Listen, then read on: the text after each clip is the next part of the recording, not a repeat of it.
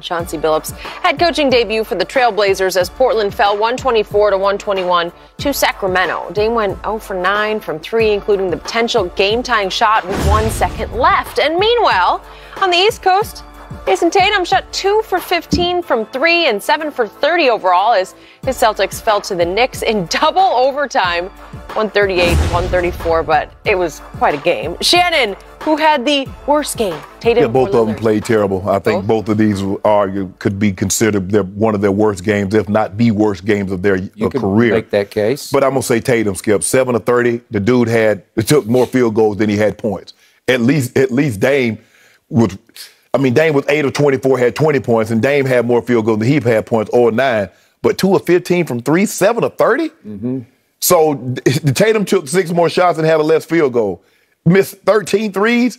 Yeah, turned the ball over more, had fewer assists. This is the game that Dame would love to have back. I mean, both guys would love to have it back. Mm-hmm. But I'm going to say Tatum in this situation. I, I, don't know if I've ever seen a guy go 7 of 30 and 2 of 15 from the three. Mm. Remember, it went two overtime. Yeah. So I watched that game, and it was a barn burner. Right. Both teams hit the wall in the second overtime, and nobody could make a shot. but Jayson Tatum is supposed to be that guy for right. the Celtics. Right. And to me, he's had his moments, but he's never actually become a made man as a superstar right. for the Boston Celtics. It's why they went and got Kyrie, and that failed. And in this case, you're waiting on Jayson Tatum to become what the late great Kobe Bryant wanted him to be, is a superstar. But Skip, you saw it. Not. But you saw him last year. Skip drop 50 against he, the Nets in a playoff he, game. He can have those those right. moments. Yes, I, I got it. But this was one of those games where you just need him to make a shot. Right. One, one shot here right. or there. By the way, your man Schroeder, yeah. late of the Lakers he had a couple of shots in the first overtime, uh, into regulation, first overtime that could have won the game, and he gagged both of them. Yeah, you. you and so in this case, I admired Jayson because he at least he kept firing. He just kept firing and firing to nowhere. Kobe would be proud of he, it. He would have been proud. it, was, it, was, Kobe memorial on that, just on having the sheer courage to and the pride yeah. just to keep shooting. Right.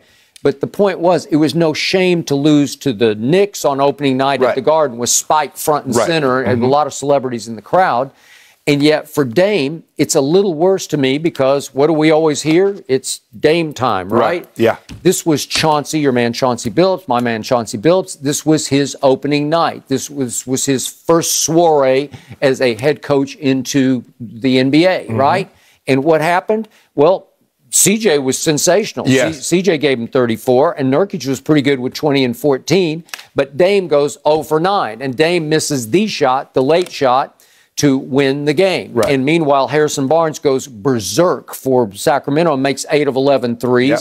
and gives them 36. But remember, Portland lost at home to Sacramento because it was not Dame time. Right. It was sack time, yes. right? Yes. And, uh, you know, uh, De'Aaron Fox, Skip, the, the Kings might be a little sneaky team here. They could be, but, they could be but, but I say that, that, every year, and I look at them, and then then it never it never materializes. Sneaks off into yeah. the shadows, right? But they, but they, got a guy, you know, De'Aaron Fox. You know, at any given night, Skip, he can go get you forty. I got it. He, that joker cat quick. Harrison Barnes will have a game here or there. And the they, man you should have traded for, Buddy Hield, he just comes off the bench and just in his sleep he makes four seven threes, and you could have had him.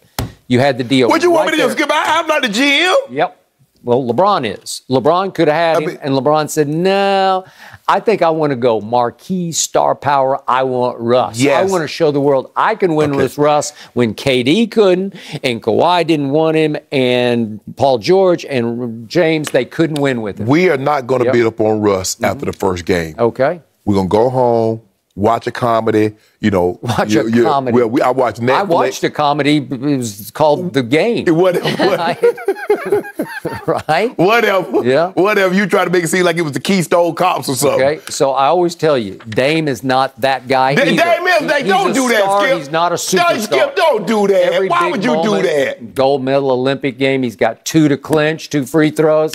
Skip, you see that man that hit clank. big shot after big shot. You I- seen I've him do hit it. here and there, and then when it's time to, to win one for Chauncey, which made me wonder: Does he really want to play? in Yeah, he wanna be there. Does He- he want to be there for Chauncey or not? He said that Oh he for nine. He Skip, it happened. Yeah. He said he want Skip. We just saw uh, uh, Steph Curry said he played like trash. He was 5 of 21. Yep. It just so happens his team won. It happened. Maybe it's just going around, right? Yes. Okay. I mean, come on. The likelihood uh, in back-to-back night, Dame would be shooting this poorly and Steph Curry to shoot that poorly the night before. Well, it did make me wonder. Does he want to be in Philadelphia? Didn't he I just tell you he want to be? He wanted to be in, in- in. Portland because of Chauncey, and that's the reason he wants Yep. to be there. That's he what he told you that. Okay, here we go. But we'll take him I, in I LA need if to We see just some started Dame the time. season. We just started. We'll give him a little second. Man, nobody want to see that G Shock you got time. on over there. Mm-hmm. Uh, how about this though? Could Case Keenum actually steal Baker Mayfield's job tonight during Thursday Yeah, football might. on Fox? He. Maybe. Don't go anywhere.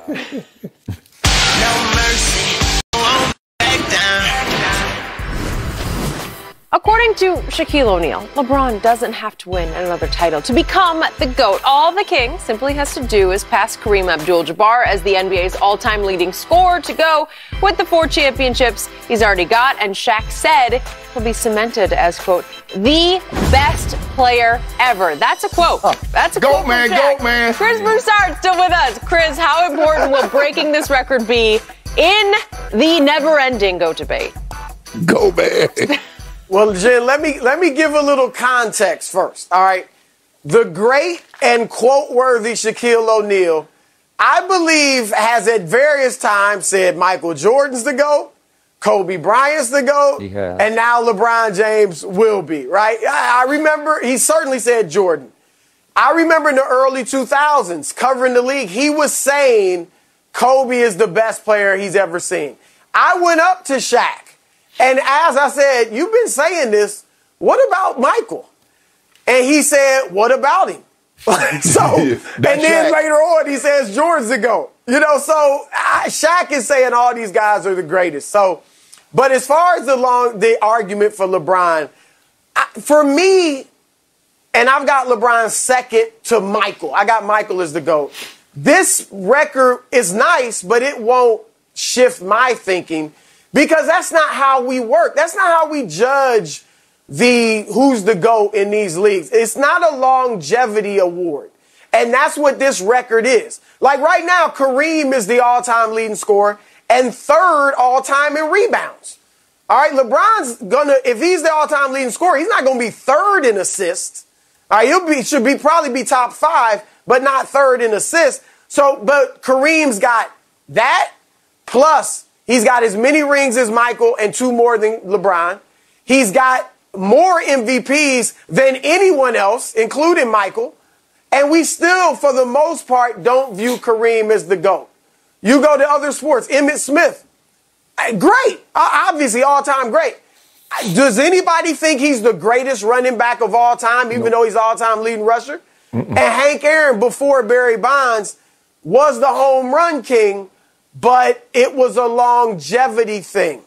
And we, we love Hank Aaron. He's all time great, but I don't think anybody thought he was the greatest baseball player ever.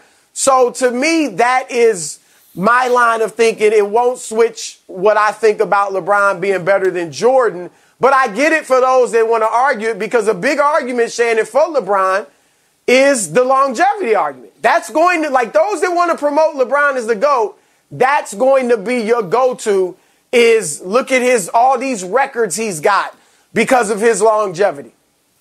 But but even if you take away the longevity, is that LeBron has played at such a supremely high level. I mean, LeBron has more All NBA than Jordan has seasons played. And you talk about a guy that's probably going to be a starter again, so this will be his 18th consecutive start in the All Star game. He's been an All NBA. He's a 13 time first team All NBA player. Nobody has more than what 11. So when you look at when you look at the totality and the body of work, and see, I'm with you, Chris.